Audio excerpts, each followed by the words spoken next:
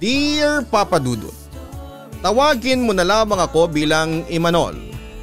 May asawa na ako si Cristel at dapat siya ang magsusulat sa inyo ngunit dahil na rin sa marami siyang ginagawa ay nagdesisyon na lamang ako na ako na po ang magsulat para sa kanya. Gusto niya kasing ibahagi ang storya namin na alam naming kapupulutan ng aral. Papadudot maraming ikinuwento sa akin si Cristel. Matapos siyang gumaling sa kanyang sakit. Nung una kong marinig yon ay hindi po ako naniniwala pero may nagbubulong sa puso ko na paniwalaan ang mga kwento ng asawa ko. Ilang taon nang nakakaraan papadudot at masasabi ko noon na hindi maganda ang pagsasama naming dalawa ng asawa ko. Aminin ko sa iyo papadudot na hindi ako naging mabuting asawa noon. Babaero ako at mabisyo at higit sa lahat ay batugan. Noong mga panahong yon ay hindi ako seryoso sa buhay at inaasa ko lamang sa kapalaran ng buhay naming mag-asawa. On the other hand ay naging pasensyosa si Cristel at sa halip na ako ang bumubuhay sa pamilya namin ay siya po ang gumagawa ng tungkulin ko. Nagtatrabaho noon si Cristel habang nasa bahay lamang ako at sinamantala ko ang pagkakataon na yon upang punan ang aking hilig. Nagkaroon ako ng kabit na nagngangalang si Jen Dumadalaw siya sa bahay kapag nasa trabaho si Cristel. At doon namin ginagawa ang lahat ng gustuhin namin kasama na ang sex. Nagawa ko magtaksil dahil aaminin kong hindi na ako nasisiyahan noon sa asawa ko. Pero hindi ko siya magawang hiwalayan dahil basically sa kanya lamang ako umaasa noon. Sinikap kong itago kay Cristel ang pagtataksil ko sa kanya pero papadudot tulad ng kasabihang walang lihim ang hindi nabubunyag. Nahuli ako ni Cristel sa akto na nakikipagtalik sa aking kabit isang araw. Sobrang nasakta noon si Cristel sa ginawa kong pagtataksil sa kanya. Alam kong mahal na mahal ako ng asawa ko at ganon din naman ako sa kanya. Pero hindi ko rin mapigilan ang pambababae ko noon dahil na rin siguro hindi nagagampanan ni Cristel. Ang tungkulin niya sa akin bilang asawa ay naghanap ako ng pampalipas sa ibang babae. At yun nga papadudot na huli din ako. On the spot na makita ni Cristel na nagtataksil ako ay nakipaghiwalay siya sa akin. Wala akong nagawa noon dahil kasalanan ko rin naman. Ikinuwento sa akin ni Cristel na pagkatapos raw ng paghihiwalay namin ay walang araw at gabi siyang hindi umiiyak. Madalas daw siyang magdasal sa simbahan noon at palagi niyang ipinagdarasal sa Diyos sana raw ay magkabalikan pa kami at magbago na ang pag-uugali ko. Halos ma-depress daw siya noon pero isang araw ay nagkita raw sila ng ex-boyfriend niyang si Andy. Ayon kay Cristel ay mag-isa siyang nagsisimba noon, umiiyak sa paghihiwalay naming dalawa. Nagdarasal sa Diyos na sana bigyan siya ng lakas para malampasan ang pagsubok na yon sa kanyang buhay. Diyos ko, bakit hindi ko makalimutan si Imanol? Mahal ko pa rin ang asawa ko. Tulungan niyo po ako. Kung pinagbabayaran ko naman ang mga kasalanan ko kay Andy, Diyos ko. Pinagsisihan ko na po yun. Yun ang sabi sa akin ni Cristel na dinasal niya noon sa Panginoon. Cristel? Nagulat at napatras si Cristel nang biglang may magsalita sa kanyang likuran. Ano ba nakakagulat ka naman? Sita niya sa pinagmumula ng boses. Ngunit nanlaki ang mga mata niya nang mamukhaan niya ang pinagmumula ng boses. Teka Andy, ikaw ba yan? Tanong niya. Tila hindi makapaniwala si Cristel na makita ang lalaki naging bahagi noon ng buhay niya. Napangiti ang lalaki sa kanya. O Cristel si Andy ito. Teka mukha ba akong multo? At nanlalaki ang mga mata mo? Natatawa pa nitong tanong sa kanya. Halos mautal si Cristel ng mga sandaling yon. Ah eh nagulat lang ako. Hindi ko kasi ni-expect na makikita tayo dito sa simbahan. Sabi pa niya sa lalaking yon. Madalas ako dito sa simbahan. Inaalala ko yung madalas nating pagkikita noon dito. Nga pala kumusta ka na? Tanong nito sa kanya. Kwento sa akin ni Cristel na medyo tumaas daw ang balahibo niya noong makita niya ulit ang lalaking yon. Pero agad na napalitan niya ng saya nang umiti ito ng makahulugan sa kanya. Para bang nahuling muli ang kanyang loob. Mabuti naman eh ikaw, balik naman ni Cristel. Ayos din, um, dalawang taon din kasi tayong hindi nakita. Cristel, um, nasa na si Imanol? Curious na tanong nito sa kanya. Malungkot na inamin naman ni Cristal ang totoo. Iwalay na kami ni Imanol, Andy. Ganun ba? Kaya pala mukhang kagagaling mo lang sa pag-iyak? Wika ni Andy sa kanya. Pagkatapos ay dahan-dahang tinapik ang kanyang balikat mula sa likuran. Kaya ako pumunta rito para magdasal na sana ay magbago na si Imanol. Hinihiling ko rin na sana ay magkabalikan kami sa puntong yon ay hindi na napigilan pa ni Cristel na umiyak sa harap ng dati niyang pag-ibig. Sana pakinggan ng Diyos sa mga hiling mo. Nakikisimpati ang sabi ni Andy sa aking asawa. Samantala agad namang nagpahid ng kanyang luha si Cristel at binago ang usapan. At sa halip ay nabaling ang atensyon niya sa suot ng lalaki. Um, puting-puti ang outfit mo ngayon ah.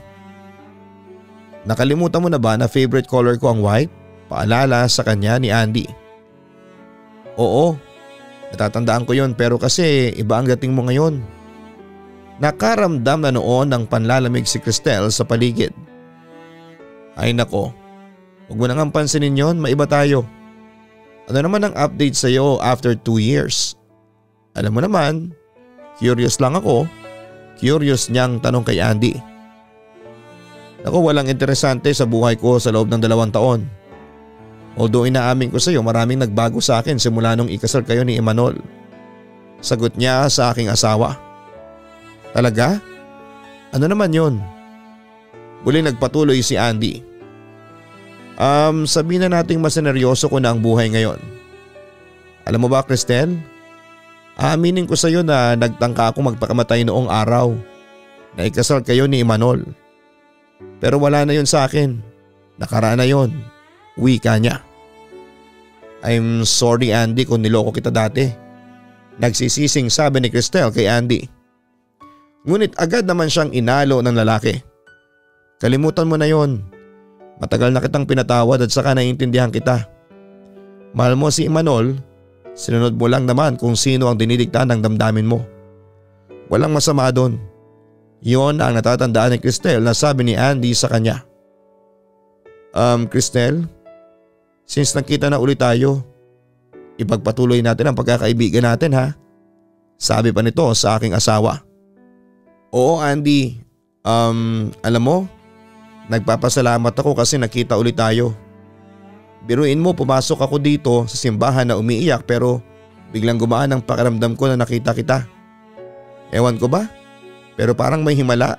Natutuwang wika ni Cristel na tila ba nawala na ang sakit sa kanyang puso dulot ng pagtataksil ko sa kanya. Totoo ang himala Cristel. Malay mo, kaya tayo nagkita ulit ay para paganing ko ang loob mo.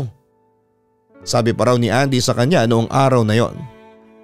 Papadudot si Andy ay ex-boyfriend ni Cristel. Sila naman talaga ang magkarelasyon noon pero nang dumating ako sa buhay nila. Nagkagulo na ang lahat, napaibig ko si Cristel at nagtaksil siya kay Andy. Ikakasal na sila noon nang magpasya akong itana noon si Cristel. Kaya sa araw ng kasal nila ni Andy ay hindi siya lumitaw dahil sumama siya sa akin.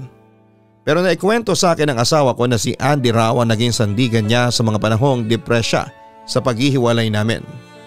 Madalas daw siyang payuhan ni Andy Nahabaan pa ang pasensya niya sa akin. Sa kabilang banda naman ayon kay Cristel ay naging mabuti raw silang magkaibigan ulit ni Andy. Naging madalas daw ang pagkikita nila habang ikinikwento sa akin ito ni Cristel. Aaminin ko na nakaramdam ako ng guilt at selos. Guilt dahil ibang lalaki pa ang umaalalay sa kanya sa halip na ang asawa niya. Selos dahil ibang lalaki pa ang nakapagbibigay ng kasiyahan sa kanya imbis na ako. Sa kabilang banda isang araw habang nagwawalis sa labas si Cristel, sa tinutuluyan niyang bahay ay bigla na lamang daw lumitaw si Andy sa kanyang likuran. Ay kabayo Andy, ano ba? Ginulat mo naman ako. Reklamo ni Cristel sa kanyang ex-boyfriend na noon ay kaibigan na niya. Napahagikik daw si Andy sa naging reaksyon niya. Natawa naman ako sa iyo. Noong dating ginugulat kita sabi mo multo ako, ngayon naman kabayo. Bakit mukha ba akong kabayo? Pabirong tanong pa nito kay Cristel. Eh kasi nakakagulat ka. Bigla ka na lang nawawala tapos bigla ka na lang lilitaw sa kung saan. Puna ni Cristel sa lalaking yon. Napangiti lang daw noon si Andy. Ano ba yan parang hindi ka na nasanay sa akin. Iwasan mo na kasi ang panggugulat mo sa akin at saka iwasan mo na rin ang biglang pag-iiwan sa akin katulad na lamang nung pumunta tayo sa mall. Nalingat lang ako sandali bigla ka na lang nawala na parang bula. Tapos doon sa park eh bigla ka ding nawala. Alam mo ba hinahanap kita sa buong park pero hindi na kita nakita. Ang bilis mo sigurong tumakbo kaya bigla kang nawawala. Ay nako, sa susunod mo pang gawin yan, hindi na kita papansinin kahit kailan. Nagtatampong sabi pa ng asawa ko kay Andy. Um, okay, I'm sorry. Hindi na mauulit. Ano, nagtatampo pa ba ang best friend ko? Tila nilalambing siya noon ni Andy para hindi na magtampo. Agad namang lumambot ang puso ng asawa ko. Um, okay, hindi na ako nagtatampo. Pansin ko lang sa tuwing nakikita tayo, palaging yan ang suot mong damit. Iisang damit, pantalon at isang pares ng tsinelas lang ba ang gamit mo? Paborito mo ba ang mga yan? Puna ni Cristel sa lalaki. Oo, paborito ko ang ganitong style. Kaya nga bumili ako ng maraming kapares nito kaya akala mo isang damit lang ang palagi kong sinusuot. Katwiran sa kanya ni Andy. Um nga pala, kumusta na si Imanol? Wala ka bang balita sa kanya? Tanong pa nito. Madalas akong tinawagan ni Imanol nung isang linggo humihingi siya ng tawad sa akin. Sagot naman ni Cristel sa kanya. Ano napatawad mo na ba siya? Curious na tanong ni Andy. Nalungkot naman si Cristel habang inaalala ang aking pagtataksil sa kanya. Hindi ko alam kung mapapatawad ko siya. Masakit kasi yung ginawa niyang panloloko sa akin. Sa totoo lang Andy ay parang unti-unti na ako nawawala ng pagmamahal sa asawa ko. Sagot pa nito sa kanyang kaibigan. Naku, wag mo nang sabihin yan. Asawa mo pa rin si Manol. At saka matuto ka magpatawad. Bigyan mo siya ng pangalawang pagkakataon, malay mo ay magbago na siya. Besides, walang perpektong tao at bilang mag-asawa, tanggapin niyo ang mga imperfections ninyo sa bawat isa. Payo pa raw ni Andy sa aking asawa. Huminga naman ang malalim si Cristel bago nagpatuloy. Andy, Salamat nga pala sa pagpunta mo rito ha. At least gumaan na naman ulit ang pakiramdam ko. Sabi pa niya sa kaibigan. Pagkatapos ay sabay raw silang pumasok sa bahay at malugod na in-entertain ni Cristel si Andy. Kwentuhan at tawanan ang nanaig sa bahay. At doon na na-realize ni Cristel na tila nagbabalik ang kanyang pag-ibig para kay Andy. Habang ikinikwento sa akin ng asawa ko yun ay nasaktan ako ng sobra dahil ng mga panahong yon ay nawala na siya ng pagmamahal sa akin dahil sa mga kasalanang ginawa ko sa kanya. Inusig ako ng konsensya ko dahil mahal ko ang asawa ko. Samantala habang magkasama sina Andy at Cristel noon, ako naman ay pinagsisihan ko ang mga kasalanang ginawa ko sa asawa ko. Nang mga panahong yon ay narealize ko na hindi ko kayang mawala sa buhay ko si Cristel dahil mahal na mahal ko siya. Sobra ko nang ulila noon papadudot. Iniwalayan ko ang kabit ko at nagbagong buhay ako, naghanap ako ng trabaho, nagsumikap, nag-ipon din ako ng lakas ng loob. Para kausapin si Cristel pero buo na ang desisyon ng asawa ko noon na ayaw na niya sa akin. Pero ako ang tipo ng tao na hindi madaling sumuko. Ipinaglaban ko pa rin ang pagmamahal ko sa asawa ko kahit na may andi na sa buhay niya. Maraming pinagtapat ang asawa kong si Cristel tungkol sa pagsasama nila ni Andy pagkaraan ng hiwalayan namin. Naikwento niya sa akin na dahil daw sa closeness nila ng lalaking yun at sa madalas nilang pagsasama ay lalong nahuhulog ang loob ng asawa ko sa kanyang ex-boyfriend. Minsan ay nag-celebrate ng birthday si Andy at si Cristel. Lamang ang gusto nitong makasama sa espesyal na araw na yon. Nagtaka raw si Cristel pero okay lang daw at masaya naman silang nag-celebrate. Tapos pinatugtog pa ni Cristel ang dating love song nila ni Andy na Everything I Do, I Do It For You. Naalala mo ba yung kantang yan? Tanong ni Cristel sa lalaking minsan niyang sinakta ng puso. Oo naman. Yan yung team song natin. Halika sumayaw muna tayo. Pag-aya ni Andy sa kanya. Nagpahunlak naman kaagad si Cristel. Ngunit nakaramdam ng pagtaas ng kanyang balahibo si Cristel nang hawakan niya ang kamay ng kaibigan. Malamig na naman ang mga kamay mo, puna niya sa lalaki. Pero hindi yon pinansin ni Andy at sa halip ay nagpatuloy lamang ito sa pagtutrowback ng kanilang masasayang memories noon. Alam mo ba?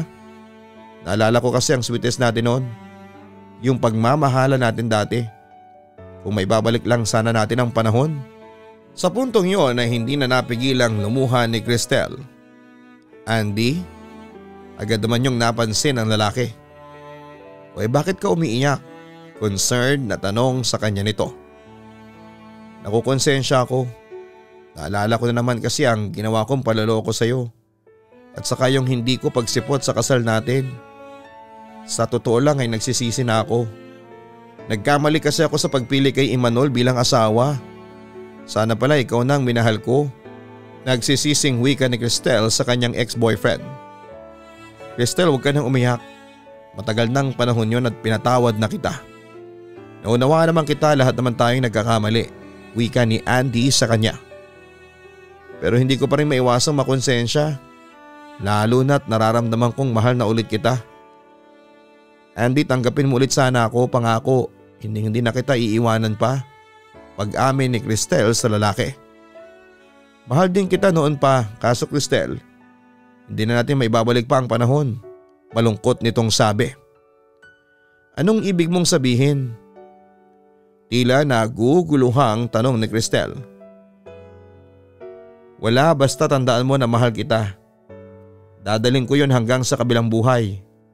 Makahulugang sagot ng kanyang ex-boyfriend.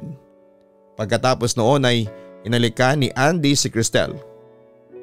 Tandaan mong kahit kailan ay hindi ako nagtanim ng galit sa iyo. Dahil sa totoo lang ay mas lalo kitang minahal ngayon. Sabi pa sa kanya ni Andy. Andy, pwede bang yumakap? Gumaan kasi ang loob ko kapag kayakap kita. Pagkatapos noon ay magkayakap nilang dinama ang lungkot dala ng kanilang love song. Papadudot ilang beses kong sinubukan kausapin ang asawa ko noon pero palagi niya akong nire-reject. Dahil wala na raw siyang balak na makipagbalikan pa sa akin. Bukod sa ipinagtapat niya sa akin na nagmamahalan na raw sila ni Andy kaya huwag ko na raw silang guluhin pa. Pero hindi ako nagpatalo noon papadudot. Desidido akong bawiin noon si Cristel kay Andy. Samantala isang araw ay napagpasyahang mamasyal noon sa mall sina Andy at Cristel. Masaya silang nagkwentuhan bagamat ang kwento sa akin ni Cristel ay napansin niya na pinagtitinginan silang dalawa ni Andy. Hindi lamang niya pinansin yon sa payo na rin ng kanyang ex-boyfriend.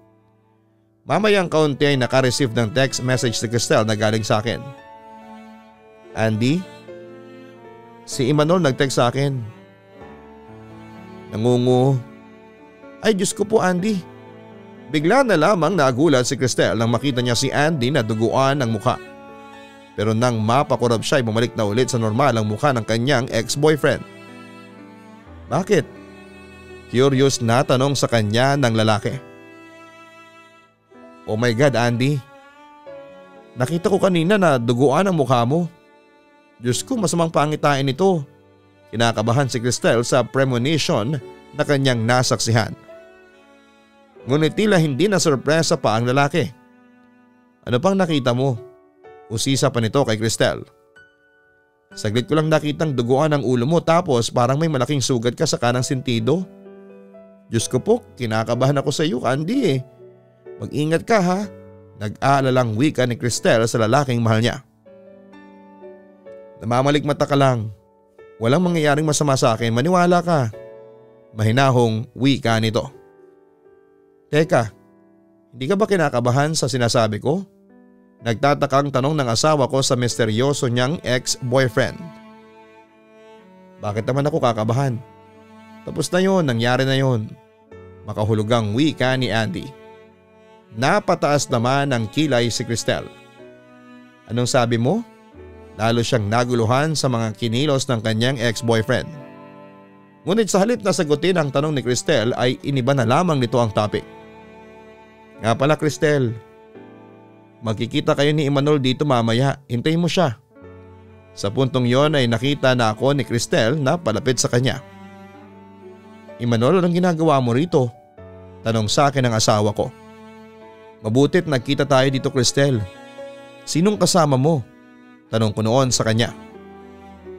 Obvious ba si Andy ang kasama ko? Pero bigla siyang natigilan nang mapansin niyang wala na ang kanyang ex-boyfriend. Andy, nasan ka na? Teka, nasan ang lalaking yon? Andy? Naku, iniwan na naman ako sa ere ng lalaking yon. Sigurado ka bang kasama mo si Andy?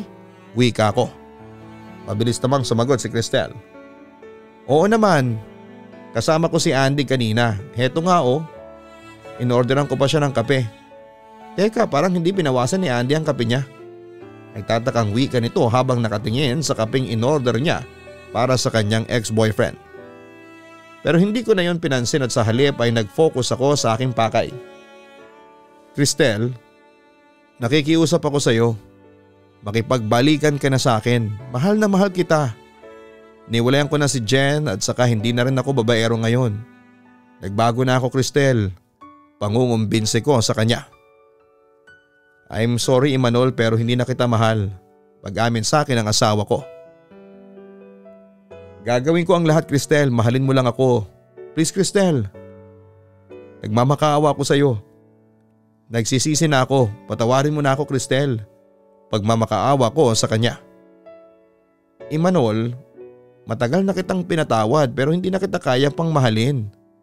Patawad talaga, sabi na lamang niya sa akin. Bakit? Sino ba ang bago mong mahal? Si Andy ba? Sa puntong yon ay hindi ko na mapigilang lumuha. Oo Imanol, mahal ko si Andy. Nagmamahalan kami kaya nga nagsisisi ako sa hindi ko pagsipot sa kasal namin noon. Imanol, oo mag-asawa pa tayo sa mata ng batas pero hanggang magkaibigan lang ang kaya kong ibigay sa iyo. Pag-amin niya sa akin. Sa puntong yon ay naramdaman ko na ang bagsik ng karma at sobrang sakit noon sa puso ko. Papadudot ginawa ko ang lahat noon upang mabawi ulit ang asawa ko. Kinulit ko si Cristel at halos lumuhod pa nga ako sa kanya para lamang makipagbalikan sa akin. Pero dinedman lamang niya ako. Desidido kasi siyang makisama na kay Andy. Pero ang pinagtataka ko lamang papadudot ay walang Andy na humarap sa akin noon sa tuwing nakikita kami ni Cristel. Although palaging sinasabi ng asawa ko na magkasama sila pero sabi niya madalas daw namang iwan ang lalaking yon. Doon ay nag-alinlangan na ako sa asawa ko na hindi naman talaga niya kasama si Andy at ginagawa lang niyang sangkala ng ex-boyfriend niya para huwag makipagbalikan sa akin. Dahil doon ay nagpasya na akong harapin ng personal si Andy kaya pinuntahan ko ang boarding house kung saan ay sinasabi ng asawa ko na nanunuluyan si Andy. Pero laking gulat ko na walang nagbo-boarding doon na Andy ang pangalan. Tiyempo naman na aksidenteng nagtagpo kami ng kapatid ni Andy na si Precious. Kinumusta ko si Andy pero laking gulat ko noon ang ipagtapat ni Precious ang katotohanan tungkol kay Andy. Nang malaman ko yun ay agad kong tinawagan si Cristel upang sabihin ang aking natuklasan. Samantala isang gabi muling dumalaw daw si Andy sa bahay ni Cristel Masaya silang nagkwentuhan at nag-throwback ng kanilang masasayang memories. Hanggang sa may binanggit ito sa kanya na siyang nagpakaba kay Cristel. Maraming salamat pala sa apat na pong araw na pagsasama natin. Alam mo sa mga araw na yon, pinasaya mo ko ng gusto. Kung pwede sanang tumagal pa ang pagsasama natin. Tila naguluhan naman si Cristel sa mga sinabi ni Andy. Eh teka ano bang ibig mong sabihin? Basta tatandaan mo. Mamahalin kita kahit na sa kabilang buhay na ako. Ang wika nito sa kanya. Hindi kita maintindihan Andy. Kabilang buhay? Lalong naguluhan noon ang asawa ko. Tapos na ang mission ko Cristel. Yun pa ang isa sa mga sinabi ni Andy na sobrang cryptic para sa aking asawa. Samantala hindi na napigilan ni Cristel na umiyak sa harapan ng lalaking mahal niya. Andy ano ba yung sinasabi mo? Kinakabahan na ako sa iyo. Bakit aalis ka ba? Saan ka pupunta? Iiwanan mo na ba ako? Andy, wag mo naman akong iwanan. Mahal na mahal kita. Hindi kita iiwanan Cristel, pangako. Ipagdarasal kita saan man ako naroroon. Makuhulugang sagot sa kanya ni Andy. Pagkatapos noon ay biglang nagring ang kanyang cellphone na nasa kwarto. Nagsabi pa raw si Andy kay Cristel na sagutin ang tawag dahil ako raw yon. Mabilis naman tumakbo paakyat si Cristel para kunin ang kanyang cellphone at sinagot ang aking tawag. Cristel please nagmamakaawa ako sa iyo. Makipagbalikan ka na sa akin. Pagmamakaawa ko sa kanya sa kabilang linya. Bakit ka ba tumatawag? Ano bang kailangan mo? Tila nagmamadali at hindi mapakaling tanong ni Cristel sa akin. Alam ko na didepress ka pa rin dahil sa paghiwalay natin dalawa, ang sabi ko. Pero tumanggi si Cristel. Hindi ako nadidepress. Tanggap ko na ang hiwalayan natin. At saka ilang beses ko bang sasabihin sa iyo na hindi na kita mahal. Imanol, si Andy na ang mahal ko. Huwag kang hibang. Matagal nang patay si Andy. Yun ang pagtatapat ko kay Cristel. At tulad ng aking inaasahan ay nagulat ng gusto ang aking asawa sa mga sinabi ko. Nagpatuloy naman ako sa pagkikwento ng aking natuklasan tungkol sa ex-boyfriend niya. Nakausap ko ang kapatid ni Andy kahapon si Precious. Ibinalita niya sa akin na dalawang taon nang patay si Andy. Nagpakamatay siya noong araw ng kasal natin. Nagbaril siya sa ulo. Kaya nakikiusap ako Cristel na tigilan mo na ang kahibangan mo. Hindi nagsisinungaling ka Buhay pa si Andy. Kasama ko siya ngayon. Kaya kong patunayan yan sa'yo. Sandali pupuntahan ko siya sa sala. Insist pa ni Cristel. Pagkatapos ay nagmamadali siyang bumaba patungong sala para patunayang nagsisinungalin ako pero hindi na niya nadat na noon si Andy. Andy nasan ka na Andy? Tawag ni Cristel sa kanyang ex-boyfriend. Cristel naman, Patay na si Andy, tanggapin mo na na hindi na siya babalik pa. Insist ko sa kanya. Hindi, buhay pa si Andy.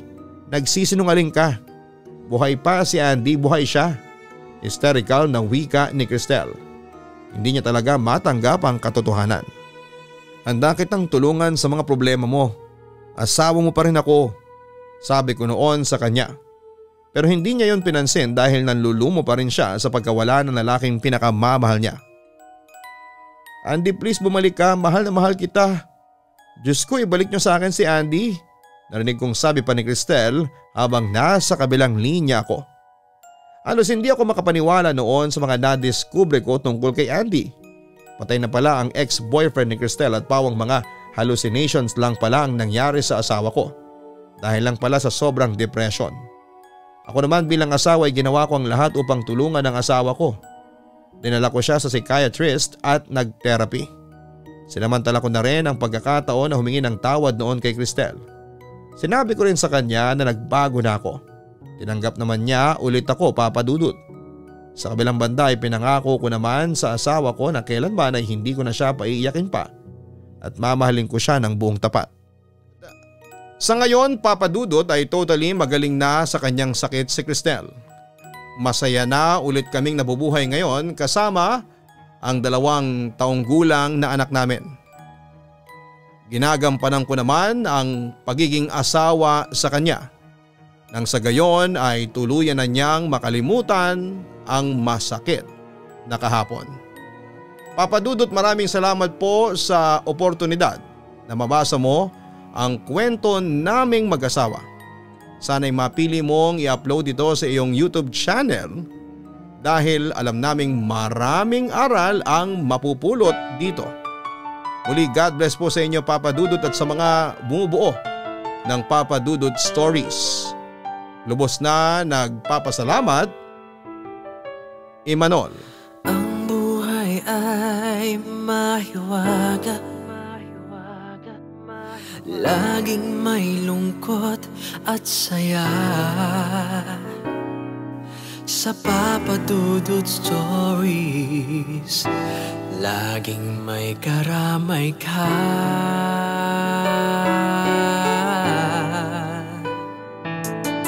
Mga problemang kaibigan Dito ay pakik pakinggan ka Sa Papa Dudut Stories. Kami ay iyong kasama